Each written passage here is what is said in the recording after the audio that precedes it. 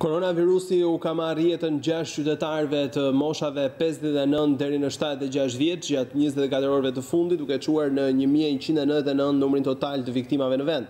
Ajo që vihet re në buletinin e publikuar nga Ministria e Shëndetësisë në këtë fillim jave është ulja e numrit të testimeve, ku gjatë 24 orëve janë kryer vetëm një mijë e dyqind e tetëdhjetë e një teste, nga të cilat njëqind e tetëdhjetë e pesë persona kanë rezultuar pozitivë me Covid nëntëmbëdhjetë. ndërsa gjatë njëzet e katër orëve të fundit treqind e dyzet e tetë qytetarë të tjerë janë shëruar.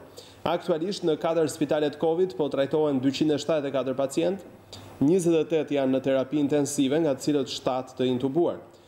Ministria e Shëndetësisë apelon qytetarët që të respektojnë të gjitha masat anti-Covid për të minimizuar përhapjen e infeksionit, ndërsa iu bën thirrje qytetarëve që të mos neglizhojnë asnjë shenjë të sëmundjes dhe të kontaktojnë për çdo dyshim me mjekun e familjes. Shqipëria ka siguruar pesëqind mijë doza vaksine anti-Covid, ndërsa vaksinimi nis në janar. Kështu deklaroi kryeministri Edi Rama gjatë inspektimit të qendrës së parë të vaksinimit në stadiumin Air Albania në Tiranë. Rama bëri të ditur se vendi ynë do të mbështesë me doza vaksinash spitalin Covid të Prishtinës. Fillojmë në javën e tretë të janarit, kemi besim që do mund të fillojmë edhe më shpejt falë disa kanaleve preferenciale që kemi hapur. Kështu që dua t'ua them të gjithëve që jemi në një fazë realisht shumë pozitive për sa i përket perspektivës së kësaj lufte. Kemi siguruar pesëqind mijë vaksina dhe njëkohësisht kemi garantuar një trend vaksinimi që i përgjigjet strategjisë dhe planit të kalendarizuar, patjetër që menjëherë, nuk do presim, menjëherë do të mbështesim edhe spitalin Covid të Prishtinës, gjithë strukturën e infektivit në Prishtinë minimalisht, pastaj hap pas hapi do shohim si do zhvillohen gjërat edhe për pjesën tjetër le të themi të popullit tonë në shtetin tjetër dhe do jemi pranë tyre nuk diskutohet pa asnjë hezitim.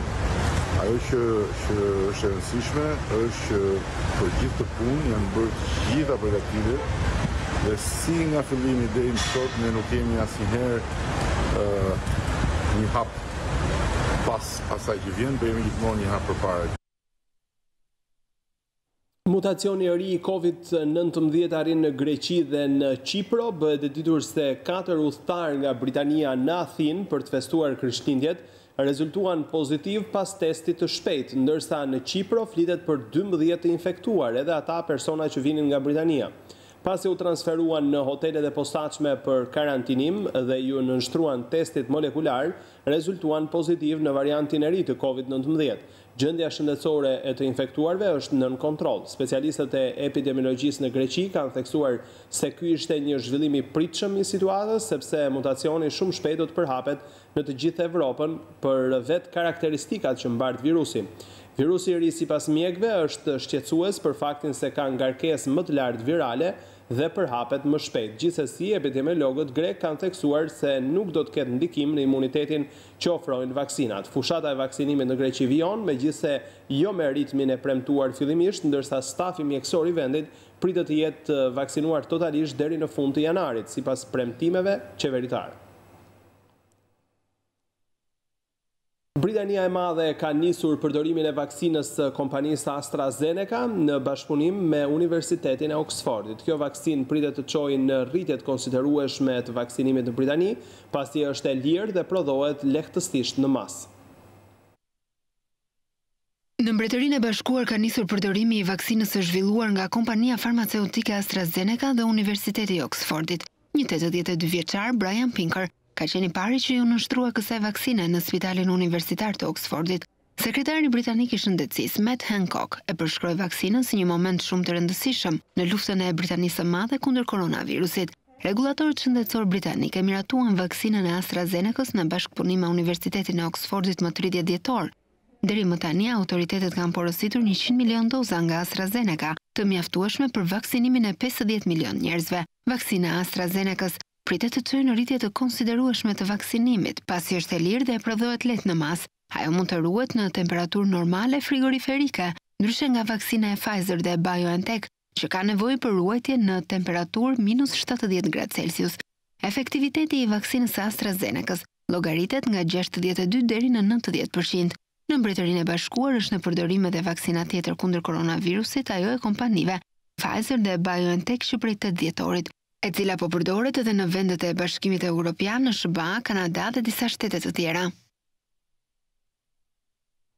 Ekspertët kanë shprehur shqetësimin për miratimin e vaksinës Covaxin në Indi, të cilën e quajnë të nxituar. Sipas tyre, kjo vaksinë nuk i ka përfunduar të gjitha provat e duhura.